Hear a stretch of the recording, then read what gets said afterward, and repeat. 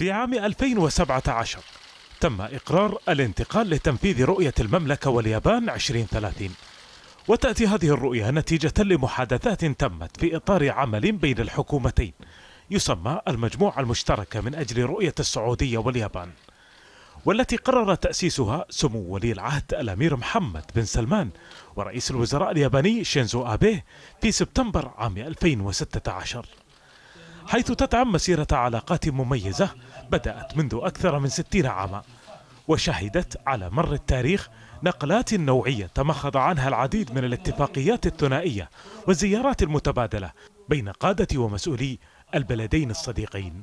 حيث تطورت في عهد خادم الحرمين الشريفين الملك سلمان بن عبد العزيز آل سعود حفظه الله لتصبح رؤية مستقبلية تهدف لتعزيز التعاون الثنائي الشامل بين البلدين في عدة مجالات أساسية كتعزيز فرص التجارة والاستثمار والتمويل وتطوير مجال الطاقة والصناعة والاهتمام ببناء القدرات والشركات المتوسطة وصغيرة الحجم وتفعيل الشراكة الثقافية والرياضية. الدور السعودي يكمن في دعم المصدرين لرفع نسق المنافسة والترويج للخدمات والسلع دوليا وكذلك رفع الحواجز التي تعيق تعاوننا من خلال حزمة استراتيجيات لتحسين كفاءة المناخ الاستثماري ولزيادة الوعي في مجال الصادرات والتطوير. وفي وقت بلغ فيه حجم التبادل التجاري بين البلدين وفقا لتقرير الهيئة العامة للإحصاء.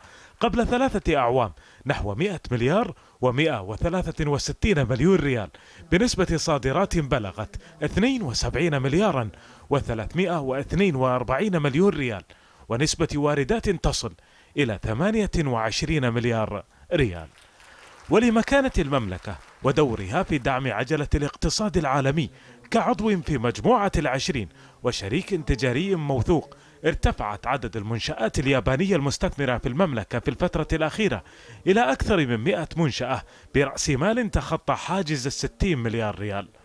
وتؤكد الأرقام السابقة أن المملكة تأتي ضمن أهم عشرة شركاء تجاريين لليابان فيما تأتي اليابان كثالث أكبر شريك تجاري للمملكة كما تحتل المملكة المرتبة الأولى في تزويد اليابان بالنفط الخام ومشتقاته الذي يصل تقريبا إلى أكثر من ثلث إجمالي واردات اليابان من النفط.